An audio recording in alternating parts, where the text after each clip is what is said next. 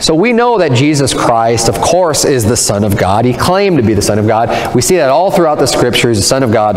Now, there's many different aspects to Jesus being the Son of God. There's, there's there's a lot of, of meaning behind that. It's not any one thing necessarily. We're going to get to that a little bit more when I get to the word begotten. He's the only begotten of the Father. He's the first begotten. There's different ways that he is begotten. So one way you could say is he was physically born into this world through Mary right? That is one way or one reason why he's the Son of God, because physically he had a mother of Mary who carried him as he grew in the womb as a human being, but his father was God.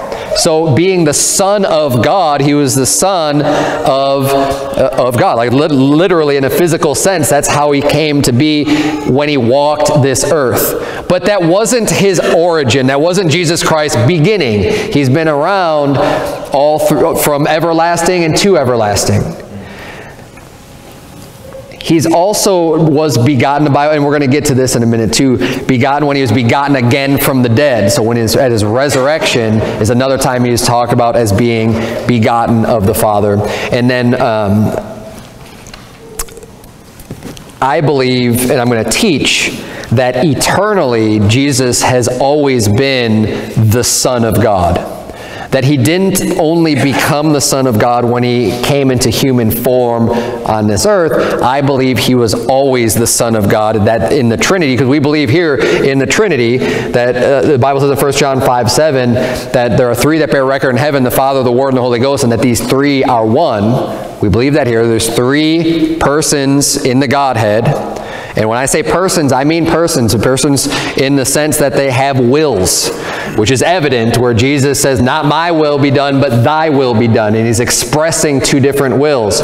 In, um, also in the sense that there are, uh, there's a power structure in the sense of, well, Jesus submitting himself unto the Father, right? We see that all throughout Scripture, that there is a structure. We see when Jesus Christ comes and rules and reigns, all power and authority is going to be given unto him for the thousand years that he reigns, and then he's going to give authority back to the Father, and, and you can't have this without having persons. However, while there are three persons, there is still one God. And those three the Father, the Word, and the Holy Ghost are one, and they're one God. We believe they're one in essence, they're one in their being as far as being a God. But there are three persons to the Godhead. Now, it is important to understand this that the, the characteristics that we understand about the Godhead, that the, the, between the Son, the Holy Ghost, and the Father have always been the way that they are now, that it's not like there was some change just because Jesus came into this world physically uh, through Mary. Galatians 4, gonna, I'm going to prove this to you from Scripture. Like I said, everything that I teach or preach, I'm going to try to, my best to prove to you with the most clear Scriptures that we have.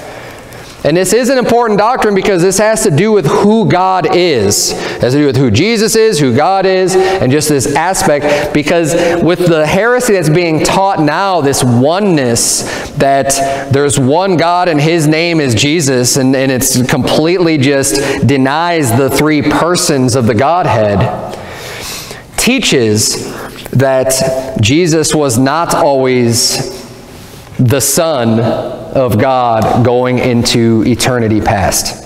That it was some new thing that like Jesus was just came, uh, almost came into being. I mean, depending on who you're talking about, what they believe, it, it's, it gets kind of weird, but it, but it really is like this, all of a sudden now he's the Son of God, and it's just because he was physically born.